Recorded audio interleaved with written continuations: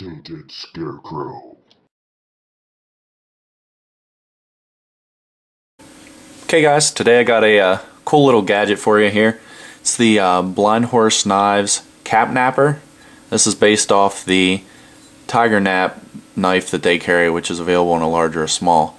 But uh, this was actually a limited run. I had contacted, uh, excuse me, LT about getting one made, and he said that uh, they weren't going to be doing anymore.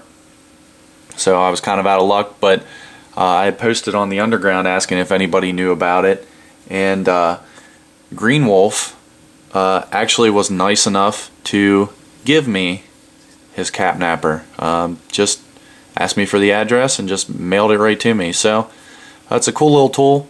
As you can see here, it's a uh, bottle opener, flathead screwdriver, and then it has a nice flat spine for striking a fire steel. So, you got the Blind Horse Knives logo there, and you guys know I love Blind Horse Knives stuff. I uh, can't get enough, and actually just placed an order for a new knife, so you guys will be seeing that here soon. Um, here I have a uh, Kugel's Summer Shandy. So, figure, yeah, yeah, I know it's a twist off, but, you know, just for the sake of doing the video, here you go. Pop the shandy open. So, take a swig.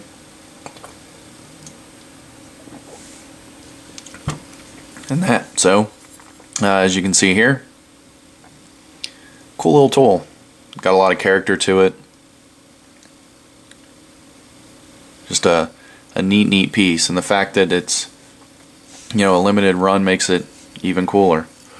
So I was looking for one to give as a gift, and like I said, Green Wolf again, shouted out to him, was nice enough to give it to me. So, a little shorter review than I normally do, but just wanted to show you that.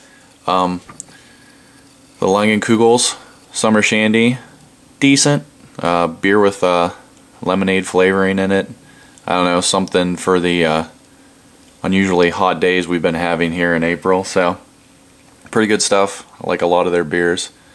So, the only thing I had on hand, like I said, was a twist off, but I showed you that the cap knapper indeed will pop the top. So, just a cool little thing. Like I said, I wanted to share. Hope you guys like the quick vid, and uh, that's all for now.